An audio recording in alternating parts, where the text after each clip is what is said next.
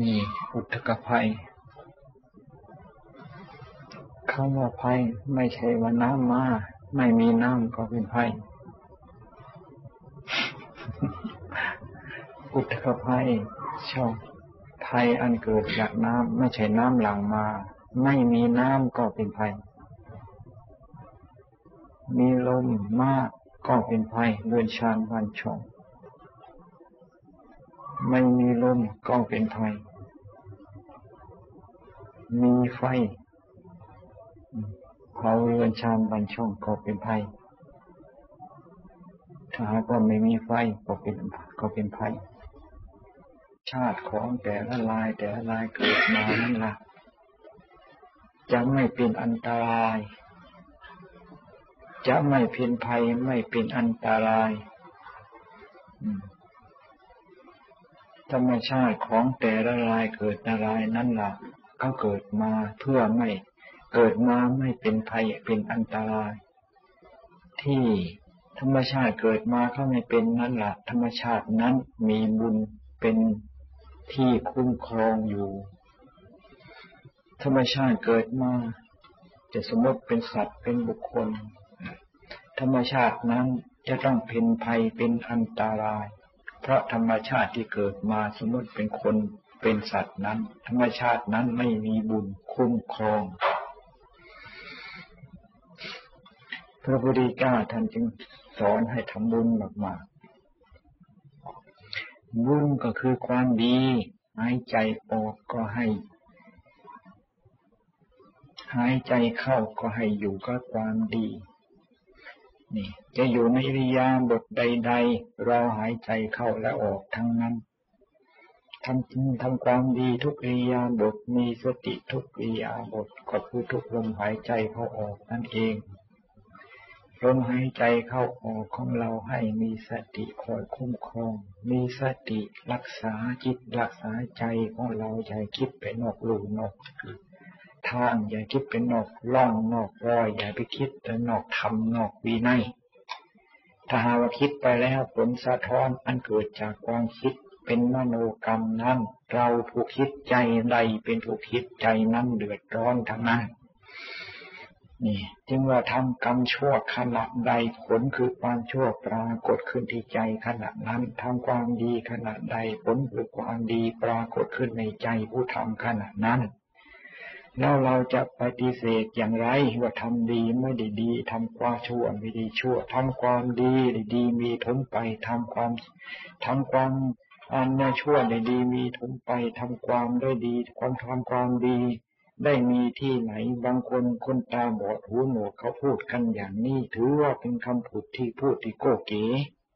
ความจริงมันก็คำพูดของคนตาบอดนั่นหูหนวกนั่นเอง ตาบอดหูหนวกคือยังไงไม่เคยมองดูจิตดูใจของเจ้าของสักทีแล้วถึงจะสนใจมองจิตมองใจของเจ้าของก็มองไม่เห็นคนมองไม่เห็นใจนั่นคือคนตาบอดนั่นเมื่อคนตาบอดแล้วจะไปมองเห็นบุญเห็นบาปได้ยังไงเพราะบุญมันอยู่ไม่ใช่เป็นต้นไม้บุญมันไม่ใช่อยู่กับแผ่นดินแผ่นหญ้าดินฟ้าอากาศที่ไหนบุญอยู่ที่ใจของแต่ละรายแต่ละรายนี้ ผู้ที่จะมองเห็นบุญเห็นบาปผู้นั้นต้องมองเห็นใจ ในเมื่อผู้ที่ไม่สนใจในการที่จะมองใจ ถึงมองใจก็มองไม่เห็นนั่นแหละคุณตาบอดคุณตาบอดจะมองเห็นบุญเห็นบาปได้อย่างไรทำดีได้ดีทำชั่วได้ชั่ว พระพุทธเจ้าท่านทรงตรัสไว้ชอบทำดีได้ดีทำชั่วได้ชั่ว พระพุทธเจ้าทุกพระองค์ทรงตรัสอย่างนี้ เพราะอันนี้เป็นความจริง นี่คำว่าความดีในหน้าที่ของเราความมีดีในหน้าที่ของเรา หน้าที่ของเรา พระพุทธเจ้าทรงตรัสทรงบอกสอนไว้อย่างไรนี่ให้รับใส่ก้าวใส่ใส่ศีรษะรับใส่ก้าวใส่หัวปฏิประพฤติปฏิบัติมอบกายถวายชีวิตทุ่มเทซื่อตรงซื่อสัตย์ต่อข้อปฏิบัติที่พระพุทธเจ้าทรงมอบหมายให้ให้นั่นนี่นะจึงว่าเรียกว่าเข้าเล่าเข้าถึงศาสนธรรมของพระพุทธเจ้า เราเข้าถึงศาสนาธรรมของพระพุทธเจ้า เรานี่แหละจะเป็นเข้าผู้เป็นผู้ที่เข้าถึงธรรมที่พระพุทธเจ้า ทรงรู้ทรงเห็นหากว่าเราไม่เข้าถึงธรรมที่พระพุทธเจ้าทรงตรัสสอนให้ประพฤติปฏิบัติแล้วเราต้องการที่จะเข้าถึงเราต้องการที่จะรู้ได้เห็นธรรมที่พระพุทธเจ้าทรงรู้เห็นเป็นไปไม่ได้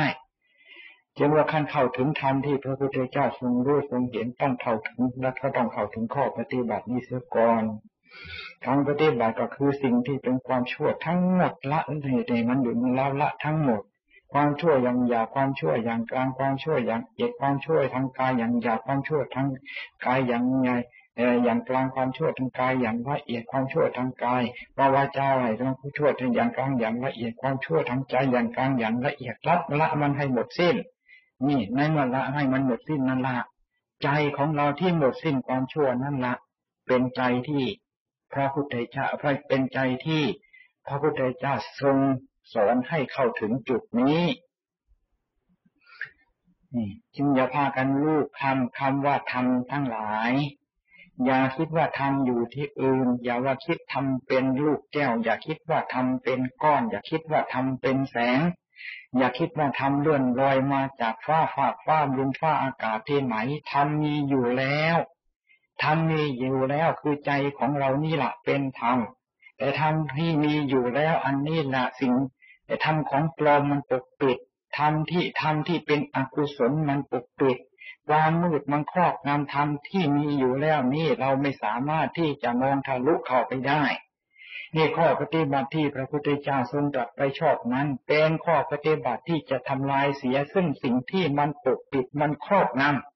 ทำลายให้สลายตัวไปธรรมของเราที่มีอยู่แล้วในเมื่อมีไม่มีอะไรจะปิดแล้วธรรมเหล่านั้นจะปิดเราได้อย่างไรเปิดเผยให้เรารู้เราเห็นนั่นละคือธรรมอย่าไปลูกคำอย่าไปลังเลสงไถใสธรรมอยู่ที่อื่นกันนี่ให้พากันเข้าใจคำว่าศีลพัดศีลพัดก็ลูกคำลูกคำนี่ทำไมจึงลูกคำเล่าก็มันยังไม่เห็นธรรมของจริงมันจะห้ามไม่ให้ลูกไม่ให้คำไม่ได้ นี่ จึงให้พากันมั่นคง พากันแน่วแน่ ลงไปในจิตในใจของเราท่านที่พระพุทธเจ้าทรงถึงพระสาวกของพระพุทธเจ้าพากันถึงพากันรู้พากันเห็น และธรรมที่พระพุทธเจ้าในทรงสอนให้ปฏิบัติเพื่อบรรลุเพื่อเข้าถึงนั่นธรรมนั้นมีอยู่ในเราแล้ว อย่าพากันแสวงหาธรรมอยู่ที่อื่น ถ้าหากว่าทำแสวงหาธรรมที่อื่นนั้น ไม่มีโอกาสที่จะเจอธรรมไม่มีโอกาสที่จะเห็นธรรมอันแท้จริงที่พระพุทธเจ้าทรงรู้ทรงเห็นได้ จึงให้พากันเข้าใจ อยู่ที่ไหนก็อยู่ไปเถอะอยู่ที่ไหนก็อยู่ไปเถอะ แต่ให้มีข้อปฏิบัติ ที่พระพุทธเจ้าทรงตัดไว้ชอบไปทรงตัดไว้อย่างไรประพฤติปฏิบัติตามนั้นสถานที่นั้นเป็นมงคล อยู่ที่ไหน เขาจะว่าดีว่าจเจริญสักขนาดไหนเพียงไรก็ช่างเถอะละเลยละหลวงข้อปฏิบัติที่พระพุทธเจ้าทรงดัดชอบสถานที่นั้นไม่เป็นมงคลดอก เป็นอัปมงคลทำไมยังเป็นอัปมงคลเพราะมงคลอัปมงคลมันอยู่กับคนประพฤติปฏิบัตินั้นไม่ได้ขึ้นอยู่กับสถานที่ถึงว่าอยู่ที่ไหนก็ช่างอยู่ไปเถอะอยู่ไปเถอะให้อยู่อย่างที่เรียกว่าเป็นผู้ที่ไม่ประมาท ในเมื่ออยู่ไม่ประมาทอยู่เรียกว่าการอยู่ในสถานที่นั้นไปไปประเสริฐการอยู่ในสถานที่นั้นมีแต่ที่จะเจริญก้าวหน้าถ้าหากอยู่ที่ไหนอยู่ที่ไหนมีแต่ประมาทอยู่ที่ไหนมีแต่ประมาทอยู่ที่ไหนมีแต่มัวเมา เดี๋ยวนี้ของเมามันมีอยู่มากลาบก็สารพัดอย่างมีแต่ที่จะมอมเมาลาดทางตาลาดทางหูลาดทางจมูกลาดทางลาดทางลาดทางเล่นลาดทางกายลาดทางใจ นี่มีมดนินเนี่ยยกยอดจะยกยอดสรรเสริญเยินยอแสนที่จะเป็นที่น่าปรารถนาของผู้ที่จิตใจยังมีความหิวอยู่ อันในเมื่อได้สิ่งที่ยกย่องสรรเสริญก็เรียกว่าเป็นว่าวันดีใจแล้วพากันแสวงหากันอย่าให้เป็นอย่างนี้ อันพระพุทธเจ้าว่าล้นแล้วแต่เป็นโลกธรรมเครื่องครอบงำที่มันปกปิดธรรมที่พระพุทธเจ้าทรงรู้ทรงเห็น ข้อความปกปิดใจของธรรมที่มีอยู่ในใจของเรานี้ให้หมดมน อนตการยิ่งขึ้นไป ให้พากันหลีกเลี่ยง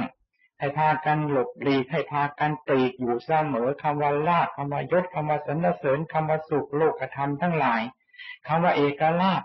นี่คำสิ่งที่โลกเขาปรารถนาในโลกก็ต้องการอันนั่นเป็นเรื่องของชาวโลกเขาต้องการเขาปรารถนาเป็นความถูกต้องนักบวชของเรานี่จะหากว่าจะไปแข่งเอ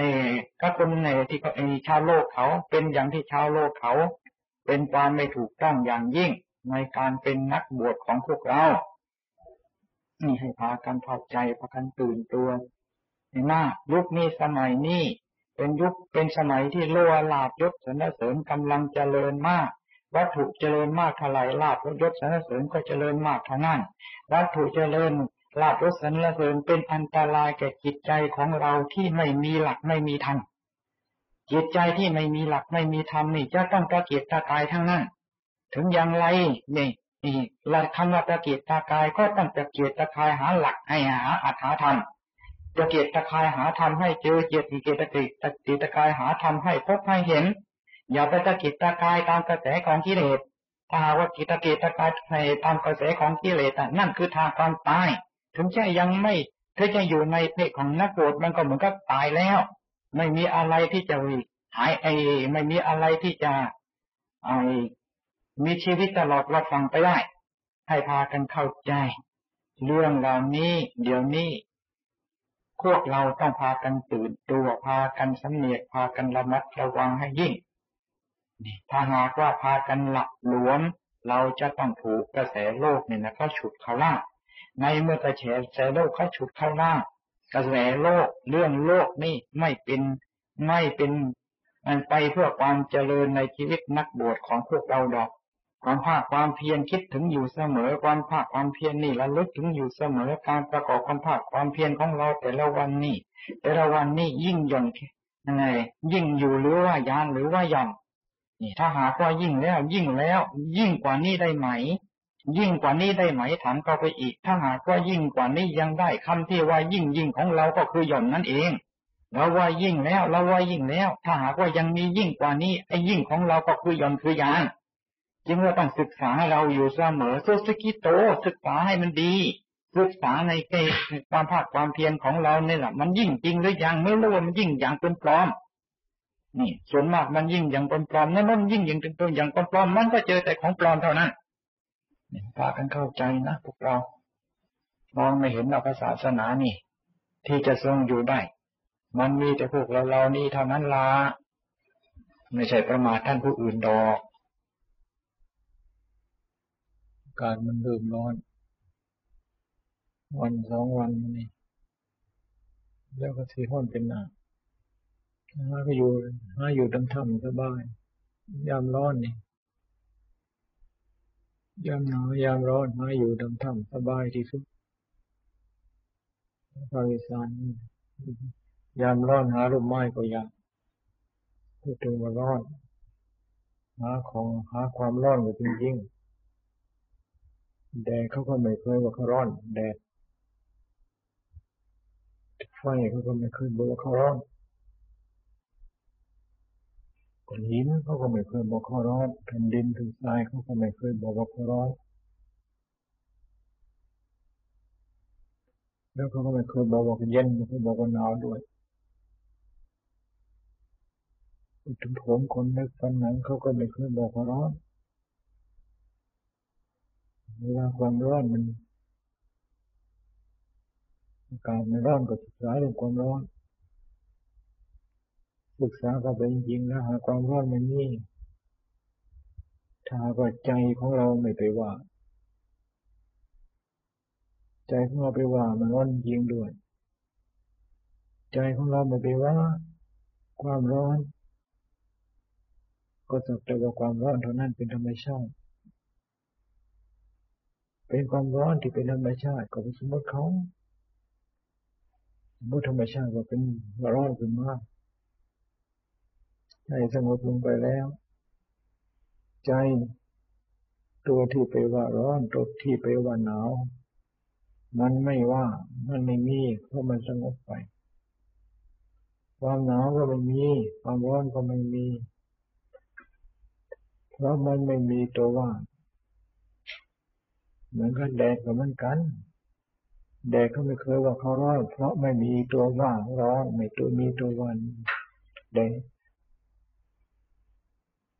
ร้อนอย่าไปสนใจมันหนาวอย่าไปสนใจมันหนาวก็ไปสนใจมันหนาวมันก็หนาวก็เป็นอุปสรรคหนาวก็เป็นปัญหา ร้อนก็เป็นอุปสรรคร้อนก็เป็นปัญหาอย่าไปสนมันหนาวอย่าไปสนมันร้อนหนาว กิเลสมันทำให้หนาวร้อนกิเลสมันทำให้ร้อน อะไรพอปฏิบัติอะไรการพิจารณา การยกอุบายอะไรขึ้นมาพิจารณาที่จะแก้ ตัวร้อนตัวหนาวคือตัวกิเลสยกเอามาพิจารณามาในเมื่อยกมาพิจารณามาพอแล้ว ตัวกิเลสตัวร้อนตัวร้อนตัวหนาวมันสงบไป ความร้อนไม่มีทำมาทำไมจึงไม่มีก็มันไฟมันเคยว่ามันร้อนทุกทีเมื่อไรมันอยู่มันสบายแดดมันเคยว่ามันร้อนเมื่อไรร้อนขนาดไหนมันก็อยู่มันสบาย ใจของเราก็เหมือนกัน ถ้าหากว่าตัวว่าร้อนตัวว่าหนาวไม่มีหนาวสักขนาดไหน ใจที่สงบแล้วไม่หนาว ร้อนสักขนาดไหน ใจที่สงบแล้วไม่ร้อน หน้าที่ที่จะทำให้ใจสงบลงไป อันนั้นอันนั้นเป็นหน้าที่ของนักบวชจะต้องพากันทำให้ยิ่งเมื่อพากันทำให้ยิ่งแล้ว จะอยู่ในชีวิตการบวชอย่างร่มเย็นเป็นสุข ร้อนก็เป็นสุข หนาวก็เป็นสุข ไม่ร้อนไม่หนาวก็เป็นสุข เพราะเราไม่ไปเอาความร้อนความหนาวความเย็นความอุ่น อันนั้นเป็นเครื่อง อยู่เป็นเครื่องที่ทำให้เป็นความสุขขึ้นมาเดินยกล้มไม่ต้องไปกลัวเหงื่อออก เหงื่อออกเท่าไรยิ่งระบายตัวโรคก็ได้มา เชื้อโรคตัวโรคมันอยู่กับเงือ มันซุ่มอยู่ในเงือนี่ มันมีอยู่มาก ไม่ต้องไปสิลายเงือเงือเป็นของสกปรกสกปรกเงือเป็นเงือเป็นของปฏิกูล ไม่ต้องไปเสียดายมัน เดินจงกรมให้เงือมันออก เบาเนื้อเบาตัว เดินจงกรมกลัวเหงื่อจะออกกลัวเหงื่อกลัวจะร้อน นั่นก็เนื่องจากว่ายึดความร้อน และความร้อนก็เป็นอุปสรรคในการปฏิบัติ ภาวนา หนาวก็เหมือนกัน เดินกรมมากๆเข้า ความหนาวก็หายไป ร้อนก็เหมือนกัน เดินกรมจนทางใจมันสงบใจมันเย็นไป ร้อนสักขนาดไหน ใจมันเย็นแล้ว มันก็เย็นไปหมดความเย็นความร้อนเกิดจากใจเป็นเหตุ ใจไปไม่ไปว่าแล้ว ความเย็นความหนาวความหนาวความร้อนไม่มี ตัวไม่สงบตัวที่ไปว่า นี่คือตัวไม่สงบ ตัวไม่สงบตัวนี้มันตัวพิงกิเลสเรื่องของกิเลสแสดงออกมากำจัดมันเสียมันแสดงออกมาอย่างไรกำจัดมันโดยอุบายกำจัดมันโดยอุบายที่แยกคาย ในเมื่อเรากำจัดมันโดยอุบายที่แยกคายเหมือนกับโรค นี่ วางยาที่ถูกกับโรค ยาก็ระงับไป ยาในโรคก็ระงับไป ยาเป็นแดโรคก็หายไป เพราะยาของเราที่วางไปนั้น มันถูกในถูกกับโรคนั่นอุบายการพิจารณาที่จะระงับความร้อน อันเกิดจากร้อนที่เพราะอากาศร้อนร้อนไปอย่างในรเย็นร้อนเพราะร้อนอุบายควรที่จะนำมาพิจารณาให้ถูกต้องกระใจของเรา อารมณ์ของเราในขณะนั้น อุบายมีอยู่เต็มโลก ให้เป็นผู้ที่คิดเอาเองผิดขึ้นเองยกขึ้นมาเอง ในเมื่อมีความพยายามที่จะยกเองยกจะผิดอุบายยกบายที่จะแก้ใจที่มันตัวกระสับกระส่ายเดี๋ยวก็ว่าร้อนเดี๋ยวก็ว่าหนาวนั้นมันมีอยู่มาก เอานั่นมา เอานั่นมาอะไรนี่นี่ก็ยกขึ้นมายกขึ้นมาในที่สุดนี่ใจของเรามันก็ยอม ยอมสยบ กัน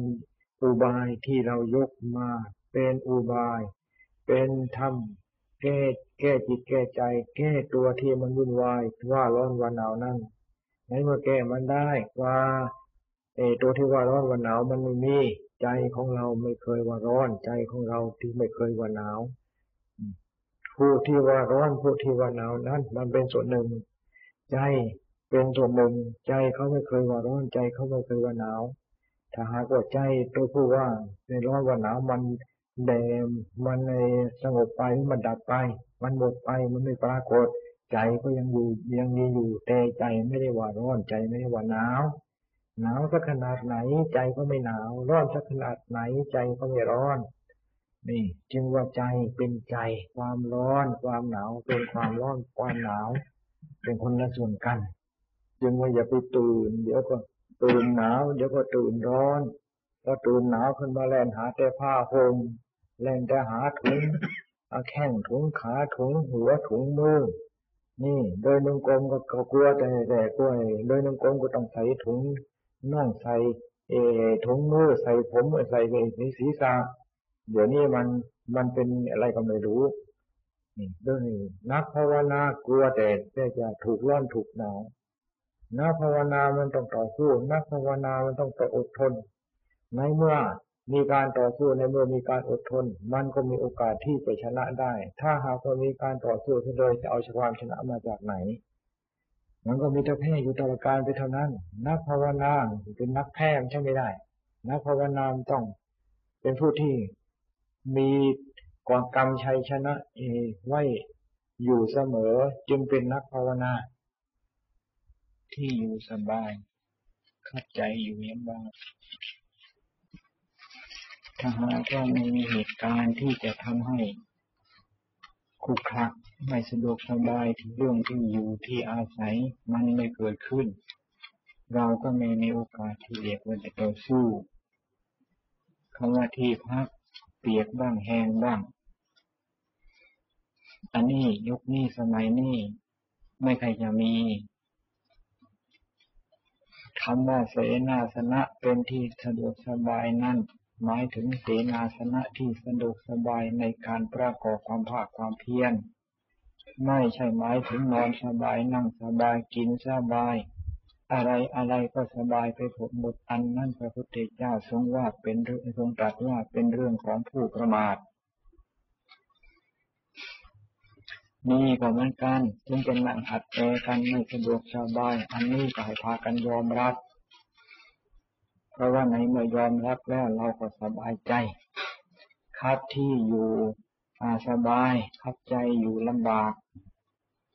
การที่คับที่อยู่สบาย เราอย่าไปสนใจกับที่อยู่ที่อาศัยนั่งอย่างไรก็สดังนั่งได้ เพราะกองดินกองน้ำกองลมกองไฟนี่ จะพาเขาอยู่ตรงไหนเขาก็ไม่ว่าอะไรก้อนดินก้อนไหนก้อนหินก้อนไหนก้อนกรวก้อนไหน จะเอาไปกองไว้ตรงไหนโยนกว้างไปตรงไหนเขาก็ไม่เคยบ่นว่าร้อนไม่เคยบ่นว่าแค่แค่แค่หนาวไม่เคยบ่นว่าแข็งไม่เคยบ่นว่าจะตกน้ำแค่น้ำกองดินกองน้ำกองลมกองไฟกองนี้ก็เหมือนกันนั่นละ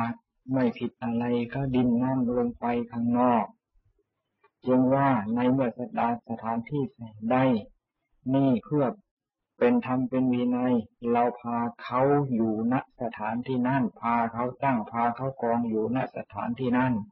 เพื่อยังสิ่งที่เป็นธรรมเป็นวินัยให้เกิดขึ้นมีขึ้นไปในจิตในใจ จึงว่าอยู่ตรงไหน อย่าลืมในการทำจิตทำใจของเราให้สบาย การที่จะทำจิตทำใจของเราให้สบายได้ปล่อยมันไป ดินก็เป็นดินไปน้ำก็เป็นน้ำไปลมก็เป็นไฟลมก็เป็นลมลมเป็นลมเป็นลมไปไปไฟเป็นไฟไป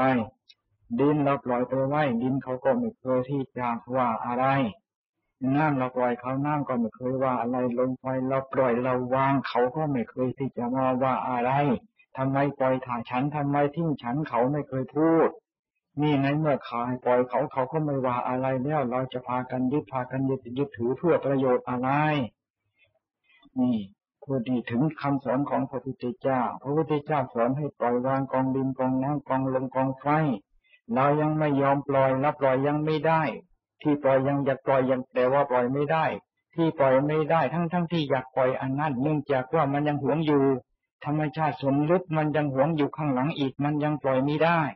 ภายนอกมันอยากปล่อยมันอยากปล่อย มันอยากปล่อย มันก็มีอยากเอาอยู่ด้วยกันนั้นล่ะถ้าถ้าเป็นอย่างนี้มันปล่อยม่ได้ ต้องพิจารณาให้มันแจ่มแจ้งชัดลงไปจนธรรมชาติส่วนลึกนั้นมันยอมรับว่าเป็นดินเป็นน้ำเป็นลมเป็นไฟจริง ๆ ทีนี้ไม่อยากปล่อยมันก็ปล่อย ไม่อยากวางมันก็วาง เพราะมันจึงว่าอยู่ตรงไหนถ้าหากใจสบายร่าสบายทั้งนั้น